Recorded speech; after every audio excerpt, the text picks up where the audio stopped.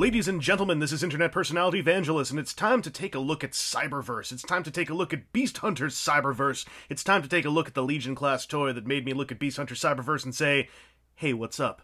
This is Smokescreen, the Autobot who is voiced by Nolan North, and it's time for our first installment of Casual Cyberverse, where I'm going to do things old timey style, all live and whatnot, except for some shots that might get peppered in. So this guy's alt mode is totally his car mode from the show. It's a sports car, and it says 38 on the side.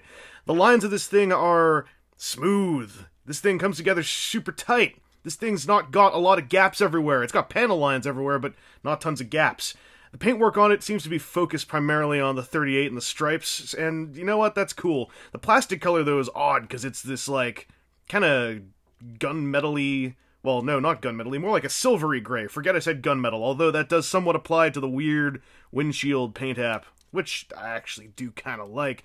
Anyway, uh, he's not white, and I I think I feel okay about that. He he comes with a, a Gears of War gun. Uh, this thing can plug in to all sorts of places, provided you aren't trying to break the laws of physics by getting this peg into that hole. It's not going to happen. But you can do this, which looks pretty silly. You can also jam this down over here, which looks pretty silly and means that wherever he's driving, he's just grinding a chainsaw gouge into the s- street. And what a weird dude. Anyway, the Cyberverse weapon thing, I mean, there's pegs all over it. There's a there's a port in it, so you can combine the weapons together.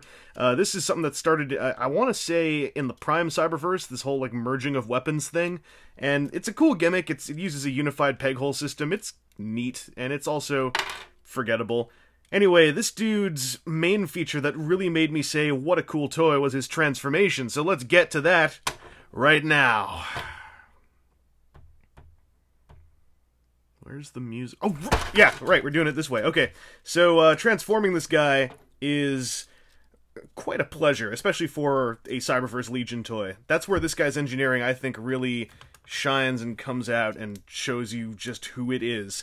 Uh, the first cool thing, aside from this like massive flip over, is that this thing locks in real solid. Like, uh, uh, his feet are kind of huge. Uh, they're kind of like the Cyberverse Bumblebee legs and feet in that there's a, a, major curvature and there's a huge flat part in the bottom and then this weird gap if you start trying to use the fake ankle joints. So you know what?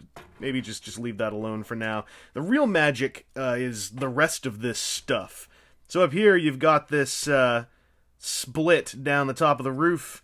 You pull that apart, and whilst you're doing so, you're also noticing, hey, it's connected to the doors. These doors are, I think, where the bulk of the magic is because the way that this arm works is you swing it around here and then it really solidly and and it's not like this out of the package. You actually have to tweak this once you open this guy up. It clicks in super damn tight uh, thanks to a little lip on this gray piece here.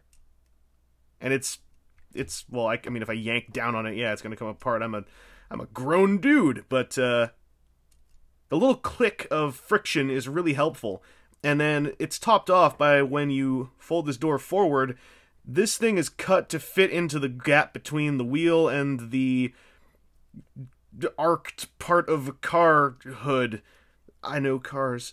And it doesn't click in but if you get the wheel you know hold the wheel down here because it's kind of jostling around on its axle and just push this in and leave things be it's a pretty solid connection. Like I can you can waggle the arm around and it's not well I'm a grown man yanking on this arm. Anyway, it's tighter than it should be, I think. It's it's tighter than by all accounts such an engineering feat on such a small toy should turn out, and I was verily impressed by it.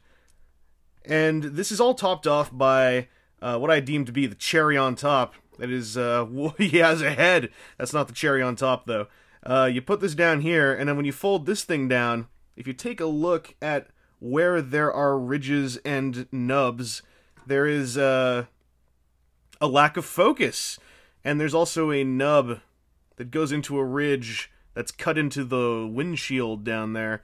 And this is kind of tricky to line up. You kind of have to fold this out a bit, and then there it is. So this thing's all locked together, and with that one locked in, it's now in position for me just to pull this down, and then I missed it to pull this down, and then uh, uh, uh, there we go.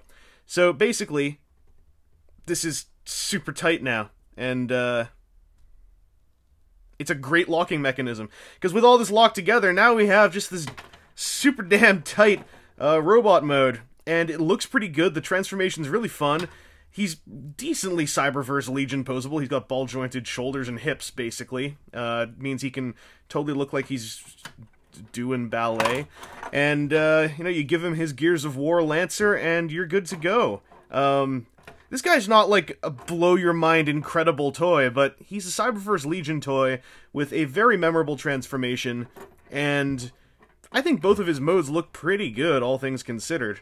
I mean, uh, the color is a bit off, but his head sculpt is there, man. Like, you, you take a look at this, and that is prime smokescreen. Granted, it's missing a ton of paint apps, but the sculpt, it's all there. You can go in there and dot all that in if you want to. I'm sure I will someday. Anyway, I just wanted to talk about how much I like this dude, because this is where I love to see Cyberverse going.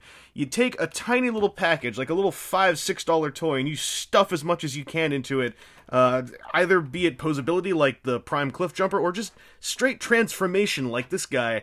And it feels good, man. It feels pretty good. Anyway, this has been Internet Personality Vangelus with the first installment of hopefully more than one installment of Casual Cyberverse. And that's all I got to say about this little guy. So we'll be back later on with a true abomination. Which I, I do mean as a compliment, actually. Uh, do I still fade out at the end of this? I don't know what to do. Oh.